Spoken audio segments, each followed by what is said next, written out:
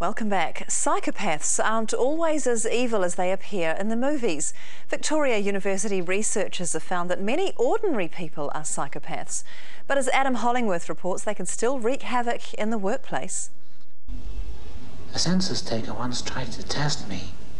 I ate his liver with some fava beans. This is the way Hollywood depicts psychopaths, but movies like Silence of the Lambs aren't that accurate most psychopaths are actually quite ordinary. So, in addition to having some of the characteristics of psychopathy, those guys also have some other things that are not typical of psychopathy. For example, being really intelligent or being really bizarre.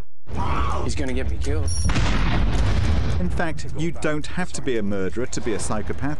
Polaschek says the reckless bomb defusing hero of the Hurt Locker, William James, is one too.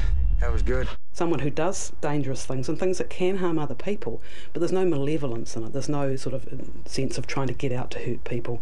It's really more a byproduct of the fact that he throws himself into highly risky situations without thinking about how his behaviour is going to affect him and others.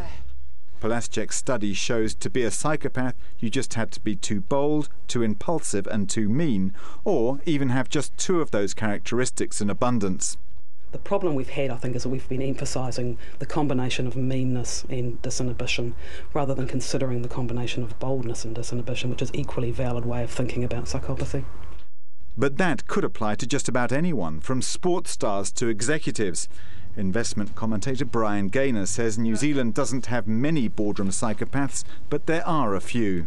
Oh, they can do a lot of damage. I think we might have seen some of those characteristics with the finance companies in New Zealand, where one or two individuals who are probably a little bit too impulsive and bold took control of those companies and they didn't have a strong board of directors that kept them in check. As many as one in a hundred could be psychopaths, but if they're identified early enough, it's possible to help them smooth over their rough edges. I do wish we could chat longer, but I'm having an old friend for dinner. Adam Hollingworth, Bye. 3 News.